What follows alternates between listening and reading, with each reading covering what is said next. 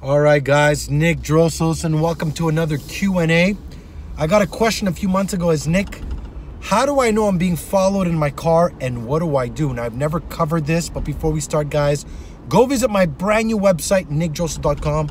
I have real world self-defense safety tips, access to my hero program, brand new fight analysis, tons and tons of content. I upload three videos a week. It's only $10 a month. As well, if you want to train with me one-on-one live, visit my website, nickdrossos.com. Now, what? Now, the reason why I'm making this video, because today uh, I was driving in the street, guy pulled up next to me, these two guys, they're staring at me. I kind of, I looked at them, they looked at me. I drove off, and as soon as I saw him, I saw him, he shifted his car, and he started, he was behind me. I turned left, I mean, I turned right, he turned right, I turned left, and then right away I was like, shit, okay, right away I'm like, am I being followed? So right away, I, I start being proactive. The fight doesn't start the moment you're being attacked. The fight starts the moment you make visual or intuitive contact. So at that very moment, like a game of chess, you got to start planning what you're going to do.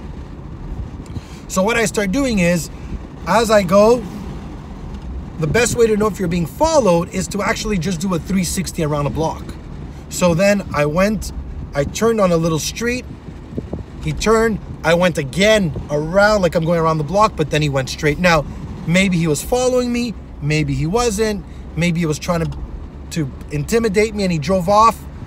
But at that very moment, I, I, I was aware that he might be following me. So already I'm being proactive and I'm ready to make my move. A lot of that is self-defense as well. It's not only throwing a good strike, is to be aware of your all your environments all the time. So when I saw him, I felt that kind of like gangster, you know, feel like challenging. When I drove off, I saw him move to the side. When I went around, again, was he following me? Wasn't? I don't know.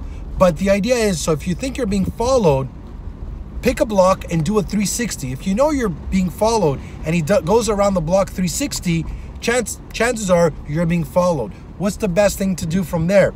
You can call a friend. You could, last thing you want to do, do not drive out your house.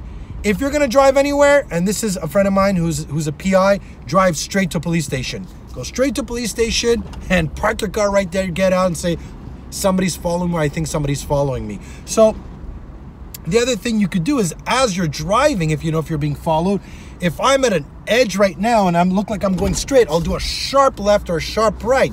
If he does it, it's pretty much, you pretty much know he's following you. Again, what you don't want to do is drive to your house, you don't want to get out of the car and ask him, "Hey, are you following me?" Uh, again, those are some some tips that you could do.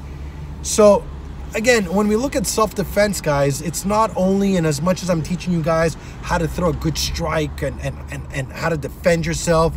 It's also about being aware. It's about being proactive.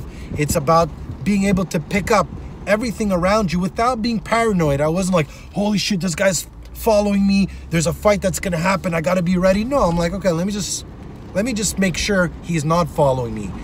Once I know he's following me, or once I get that visual or intuitive contact, then I start preparing for my next move.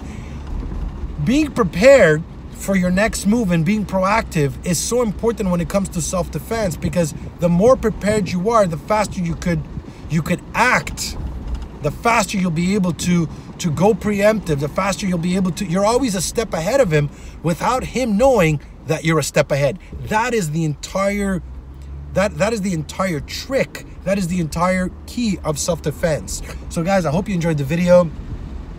I kind of went a little bit everywhere. Uh, especially like I'm driving, I'm trying to focus at the same time. So I hope you guys enjoyed the video. If you want to learn more self-defense, go visit my website, nickdrossos.com. I want to thank you guys for watching. Stay safe and stand strong.